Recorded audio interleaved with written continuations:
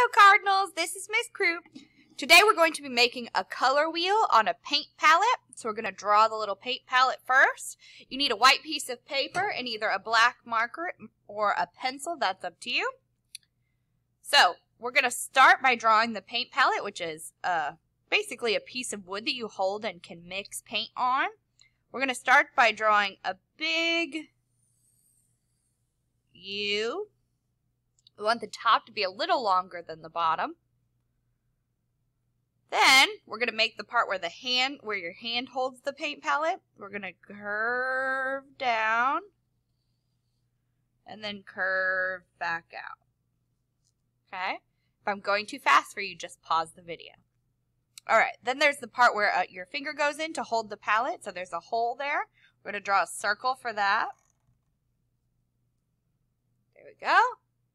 All right, now we're ready to add our paint splotches, um, which are going to be where we're going to put the colors for the color wheel. We're going to start with the paint splotches for the primary colors. Okay, so I'm going to start here. And the paint splotch, all you do is kind of make a random wavy line around the outside edge, okay? Now, our primary colors kind of go in a triangle so that there's space between them to put our secondary colors. So now I'm going to go over to this corner. Draw another paint splotch. There we go. Now, like I said, in a triangle, so we're going to go over here now.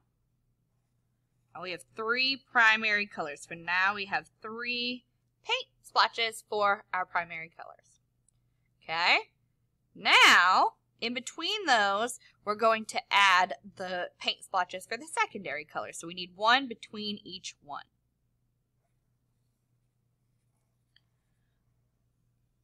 Go.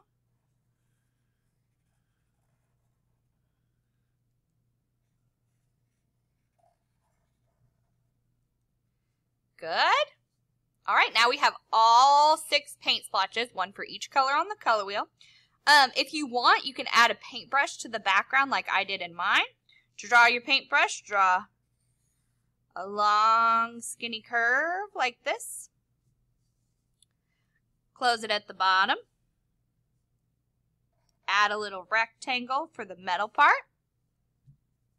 And then the tip of the paintbrush, we come and we curve out.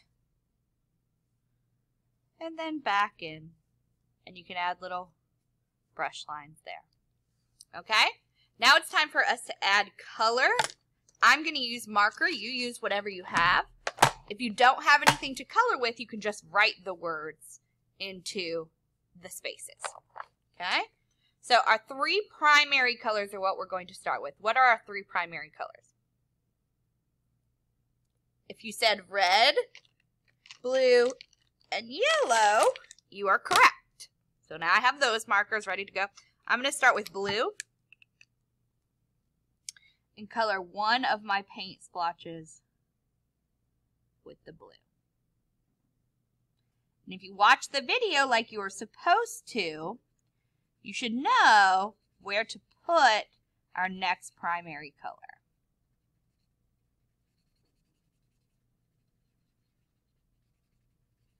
Okay, there's my blue one. Now I'm going to get my next color. I'm going to use yellow next. Should I put it right here? I should not because in between our primary colors should be a secondary color. So primary colors are never next to each other on the color wheel. So I need to skip one before I color in the next one.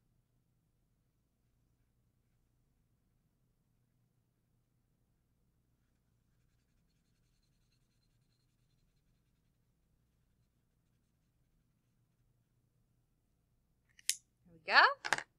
My last primary color, red. Remember, skip one. Not two, because then we'll be next to the blue. Skip one, and then we're going to put our red. So none of our primary colors touch.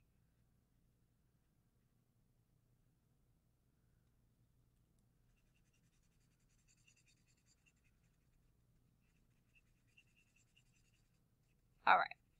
On the color wheel, the secondary colors go in between the two primary colors that make them. So for instance, I'm going to do one and then you're going to have to do the other on your own.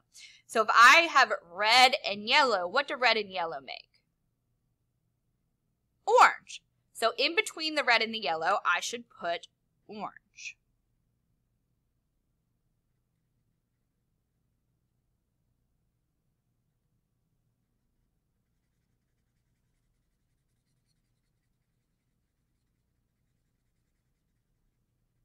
Okay.